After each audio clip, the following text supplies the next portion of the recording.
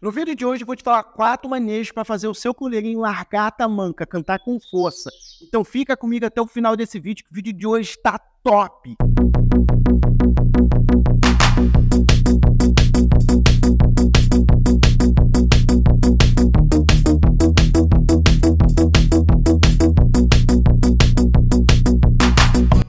Primeiro manejo para fazer o seu goleiro encantar com força, você precisa criar pregos de território.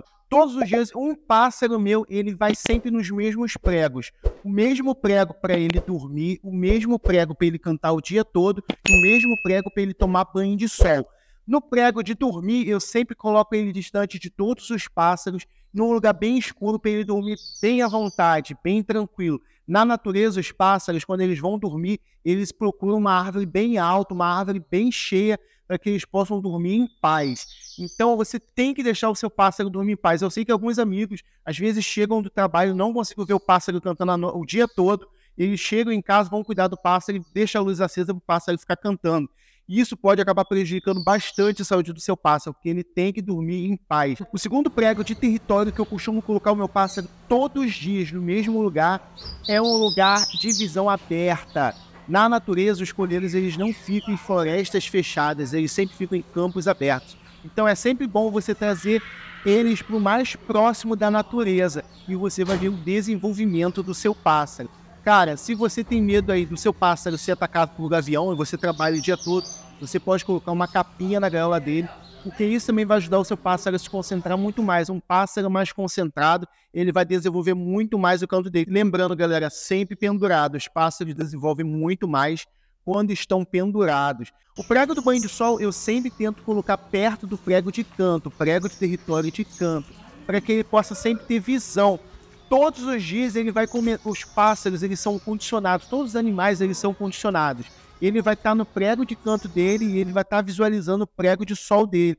Então ele vai criando esse território. O segundo manejo para fazer o seu coleirinho cantar mais forte, largar a tamanca, é você deixar ele todos os dias dormir do lado de uma janela, para que ele possa acordar e ver a luz do sol, para que ele veja o sol nascendo.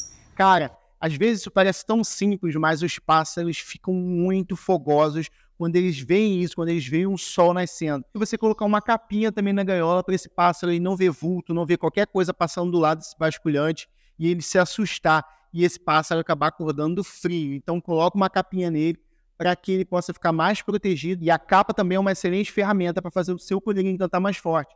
Porque o colheiro, por exemplo, vamos supor que eu tenho uma parede num canto da casa e eu tenho esse pássaro no outro canto da casa com capa todas as vezes que ele escutar o outro coleiro cantando, ele vai tentar cantar para aquele coleiro escutar ele. A capa limita o som ali dentro. Então ele sempre vai entender que o canto não está chegando naquele coleiro. Ele sempre vai querer aumentar o tom do canto dele. E a capa também deixa o pássaro muito mais concentrado. Cara, capa é essencial na criação. O pássaro não fica se perdendo com pardal, com biquinho, com tudo que passa do lado dele. Então todos os dias deixa ele acordar do lado de um basculhante com capinha, claro, para ele não se assustar com nada que passe ao redor dele ali e acabe acordando frio. Pode experimentar aí que você vai ver a diferença no seu coleiro. O terceiro manejo para fazer o seu coleiro cantar com força é você sempre deixar o pássaro da parelha, o pássaro que você tem. Vamos supor que você tem dois pássaros. Você deixa um num canto bem extremo da casa e você bota o outro na outra extremidade da casa. Que ele sempre vai tentar alcançar aquele outro coleiro com o canto dele. Se você só tem um coleirinho na sua criação aí, você pode usar o celular, coloca o canto bem baixinho, bem baixinho, bem distante, mas todos os dias você tem que colocar o mesmo canto. Bota 5 minutinhos, 10 minutinhos que ele tem que criar uma parelha com aquele canto. Ele tem que se acostumar com aquele canto. E eu te aconselho aí, se você for escolher um canto, escolher um pássaro grego, o grego mais feio, mais mateiro possível que você encontrar no YouTube e coloca todos os dias bem distante dele.